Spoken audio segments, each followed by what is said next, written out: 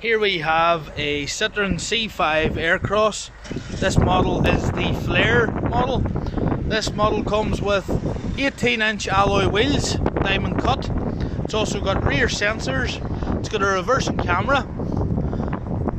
There you can see those lovely alloy wheels. Moving on inside here, you can see the lovely part leather seats with advanced comfort. You'll see this model is automatic. It's also got a touchscreen with DAB radio, Bluetooth, Apple CarPlay, Android Auto. This model also comes with sat-nav. It's also got three individual seats in the rear, as you can see, all Isofix. Oh,